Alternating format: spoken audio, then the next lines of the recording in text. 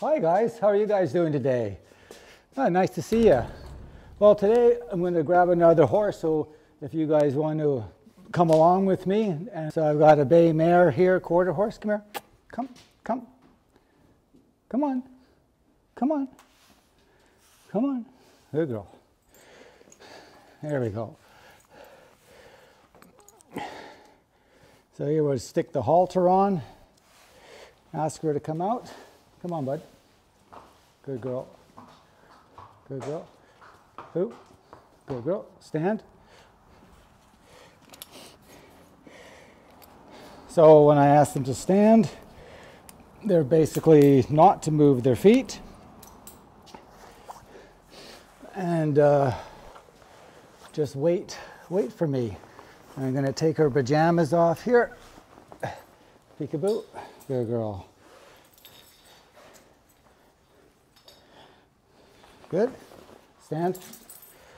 And uh, we'll just put this blanket over here out of the way. Like all good little ponies, she's going to stand and wait for me. Hi, kid. There we go. So, what I look for, you know, like with horses, is how, how can I work with them as to what kind of demeanor they have and yeah, I've always pay attention as to how they think. Hi, kid. Hi. Yeah. Okay, so we'll grab a brush here. All right. So when I uh, when I look at her here, um, I take the uh, her day blanket off. I'm kind of looking uh, at her, at her shape, um, to see how she's looking, uh, making sure that she's getting enough feed um, and exercise. I look at her muscle tone and uh, see what she's, uh, what kind of development of muscles that she has. Okay, uh, I'm looking for you know any marks on her as well that she might have uh, accidentally uh, received from playing around in the box stall a little bit too much. So, uh, because before I ride her, I, I want to know as much as I can about her. So when I do go to get on her and ride, um, I'm not looking at any other problems that might uh, might already be there. Okay. Yes. You step back. Step back. Good girl. So my big thing with these guys, oh, I know a horse is a horse, but they've got to learn. They got to learn manners and, and be respectful. Okay? So they're, they're not all the same. Everybody has got their own personality. So you have to work with them individually from a mental point of view. Uh, the physical stuff goes without saying as well. Yeah.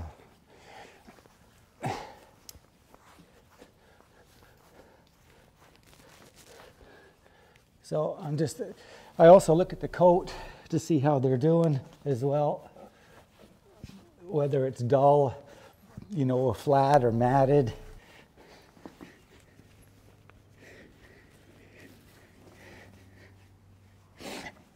And it's always a good idea to clean them off each time, right?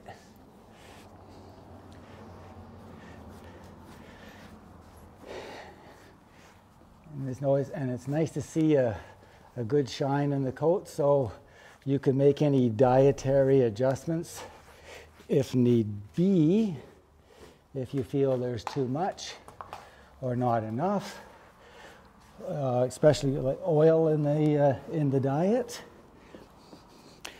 Again, depending on what it is you're feeding.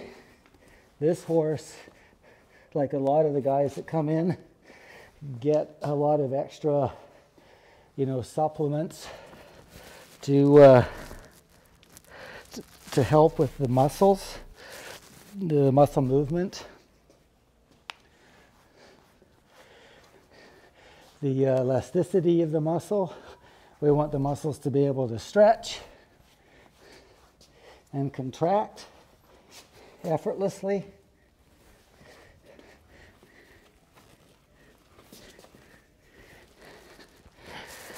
So I'll just give her tail. I'm not going to pull the tail today. So, and here I've got a little mark from her that happened the other day, and on the hocks here in the box stall. And as you can see in here, she has quite a bit of bedding. So uh, a lot of times those uh, sores will come up on the hocks if there's not enough bedding in and they're rubbing too much on the uh, on the concrete or the mats. But we do our best here to try and make sure all the horses have got as much shavings as they need um, to make sure stuff like that doesn't happen. But again, it just depends if the animal's sore from being rode. Um, sometimes when they get up, they might slip or something. It, it, it just depends on what's going on. It's not a, a super big deal, but it's something a guy should always watch because you can get that on the, uh, on the front end as well, on the forehand, up on the knees as well. Okay?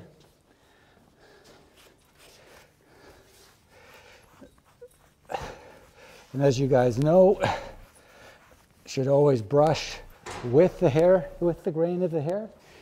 Now we have a friend that's come to join us as well here. Wow.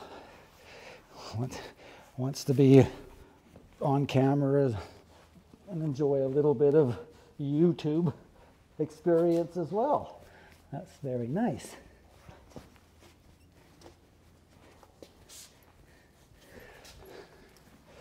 Okay, body wise, she's looking pretty good.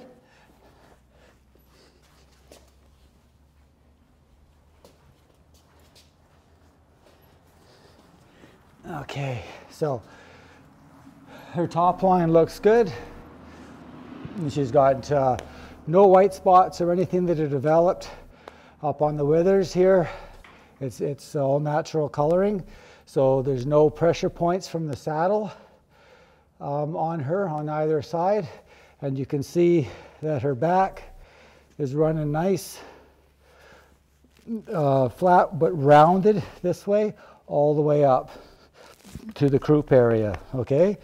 So she's, she's got a good back on this one. And this is what we, uh, we want with all of our, we don't want anything hollowed out here or them dished down in the back at all. So make sure that you guys always work the top line of the horse, which all comes from, from exercising them. We do have some other machines that we use as well that uh, we put on the horse or have the horse uh, stand or walk around, like hot walkers, for example, and uh, vibrating plates and, and uh, vibrating machines that actually sit on, on the horse to help develop that you know, uh, muscle group as well. Okay. So you're going to give me a kiss? Kiss, kiss, kiss, kiss, kiss, kiss. There. There we go. So I like to play with the horses a little bit. It kind of keeps them uh, engaged and focused on me. You know, and they can have a lot of fun as well. So I kind of a little bit of entertainment for them too. But they have to be respectful back to me. Okay, so generally speaking, I, I have to say that I'm, um, that I'm happy with what I'm looking at uh, overall with her development, with in her legs and in her chest and in the, in the torso and the body, right through the hind end here, uh, through the stifles, through the Gaskin hocks right down to the fetlocks. Uh, this horse here is a reining horse. She has uh, sliding plates on her. We'll just have a look at your foot here. Okay, so here, here are the sliding plates. One nice thing about when they're on, on sawdust, they don't plug up too much in the frog here. So, but anyway, these are what uh, one inch sliding plates look like on a horse this size.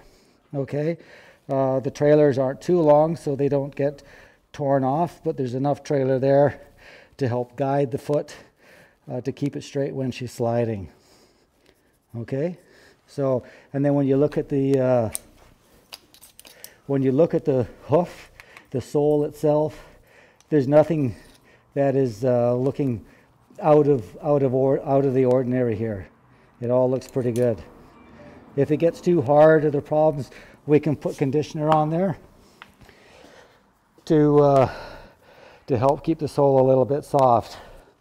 Okay, so a safety aspect of being around an animal is you want to stay close to them. So you should always have one hand on them um, uh, when you're working around them. And then in this case, what I do is I come down on the inside and pick, put the, the outside of the leg against my arm and reach on the inside and have them like this, okay? For what I do with them. If I was doing some farrier work, I would, I would actually get the leg up and set across here more so it's right in between my legs, okay? But a lot of my farrier work uh, is uh, contracted out. So all I got to do is make sure that the horses will stand quietly for the farrier and just wait for him to do his job. Okay? All right. And then on the front, again, now I know guys that have been kicked in the face. Um, I'm not going to say necessarily intentionally by a horse, but if there was a fly, flies here, then I've seen this hind leg come up and we'll just give the horse credit and it went to kick the flies off its belly or whatever. And because the guy had his face down here, he actually got kicked in the face.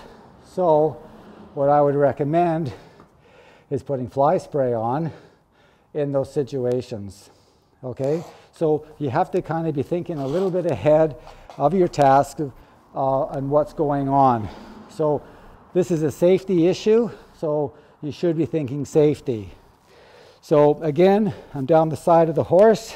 I'm going to ask for a foot, and then they should just give it to you. Just, good girl. And I just put them down after. Foot, uh, on the inside again. Foot, foot, come on, pick it up, pick it up, pick it up. Good. And that's nice and loose.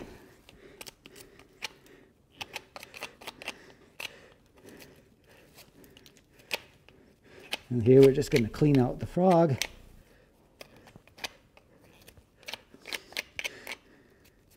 So we keep our stalls pretty clean. Um, the, uh, the sole can get a little bit uh, hard. And again, we, we put conditioner on here or um, we can also put sole pack on there, which I can uh, show you guys on another video um, for uh, drawing the swelling out or inflammation out of the out of the uh, sole wall, um, whether it's um, whether it's dry um, from uh, from the bedding or just generally speaking, because we don't let a lot of urine, you know, stick around in there because I don't want any problems with with uh, bacteria.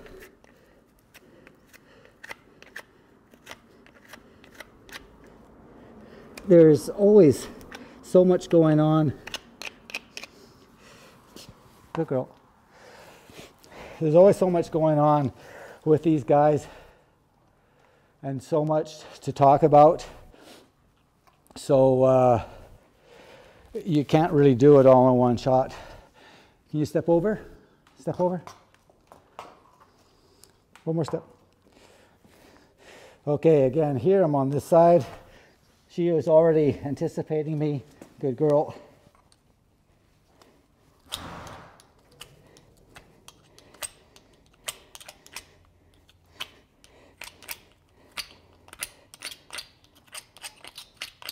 And that's what the plate looks like on the right hind as well. Easy. I always check the back of the pasterns for uh, any type of scratches, you know, or cuts or anything. dry skin, all that kind of stuff, as well as the forehand. Foot, foot, hey, foot. Good girl. Okay.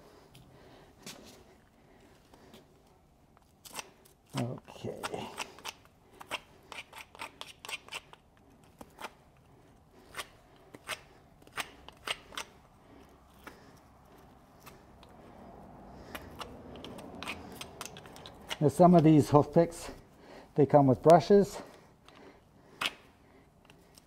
which I do have as well. But she gets picked every day, so. But anyway, so again, and hang on, Katie.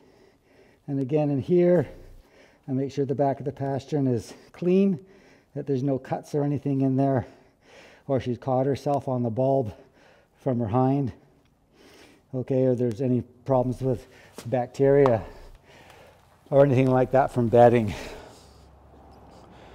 Okay, so other than that, once you've gone through, now a guy would uh, look at tacking her up, getting her ready to ride. Okay, so I hope you guys found that informative. I'll show you some other products on the next video I do with this to give you more insight as to what's going on because there's so much out there, it's crazy. So, anyway, thank you very much for your time, and we'll see you next time. Ciao.